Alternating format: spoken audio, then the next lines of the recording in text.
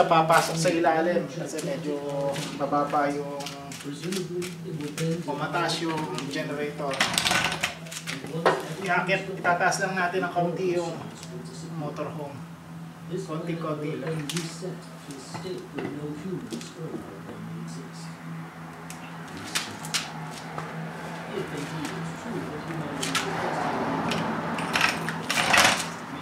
also true that you were saved uh,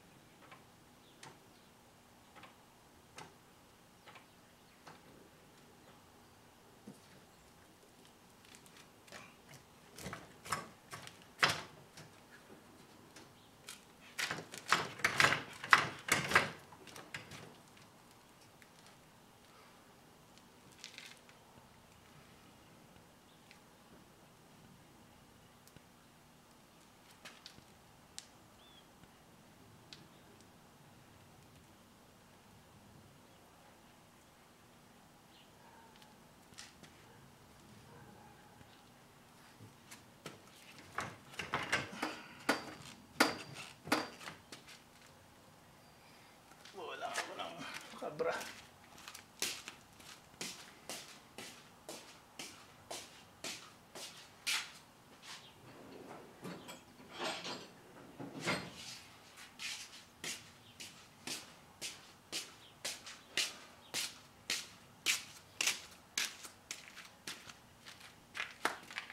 Sana umabot yung ating jack.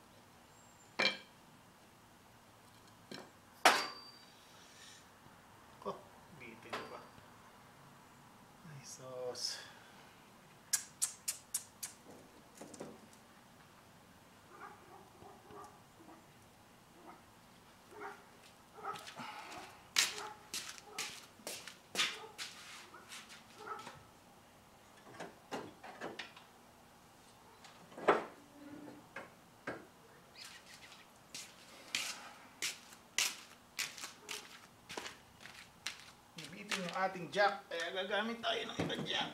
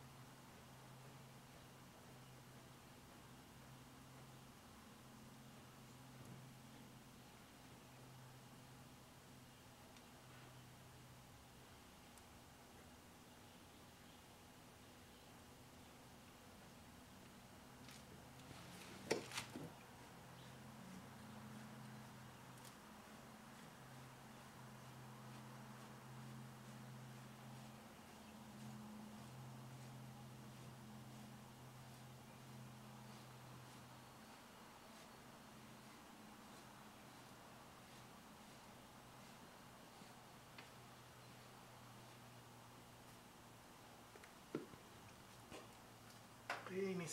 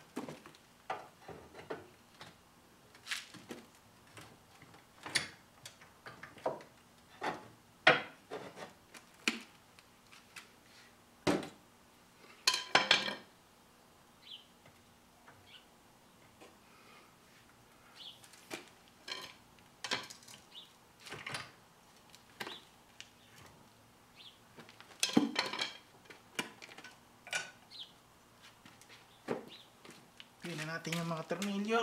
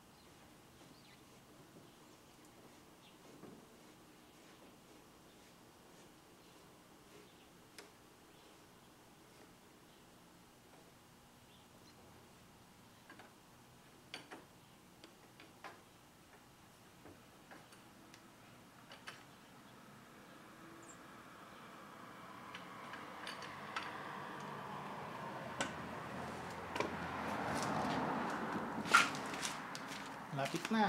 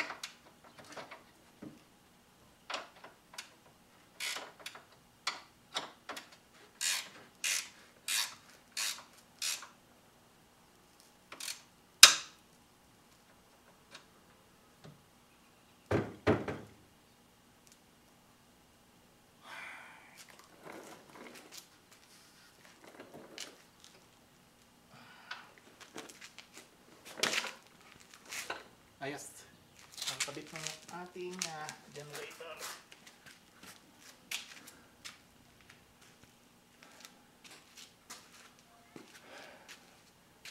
Nakakabit na.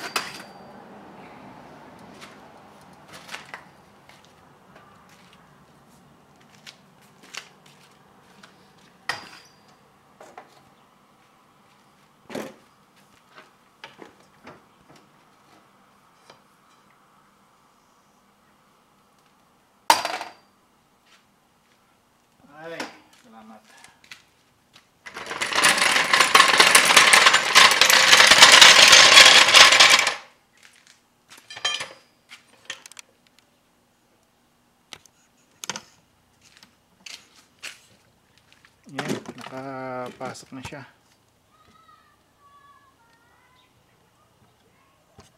Wiring na lang. Bukas, siguro, alas 6 na eh.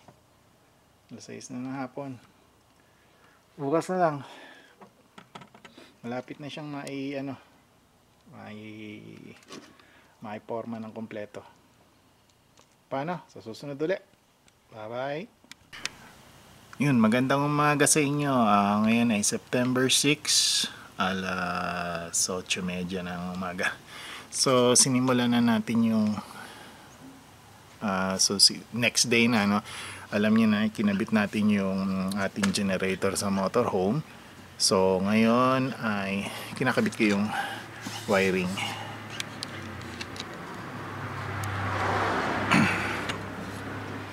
so ito yung wiring ng ito na yung linya ng motorhome. So ito yung ito yung kuryente na ng motorhome mismo. Um, ito yung patungo dun sa sa brake doon sa main box niya ng motorhome. Nilagyan ko lang siya nito dahil pangit naman kung nakataw-taw lang siya. Hihigpitan ko lang yung pinaka-tornilyong na doon sa loob.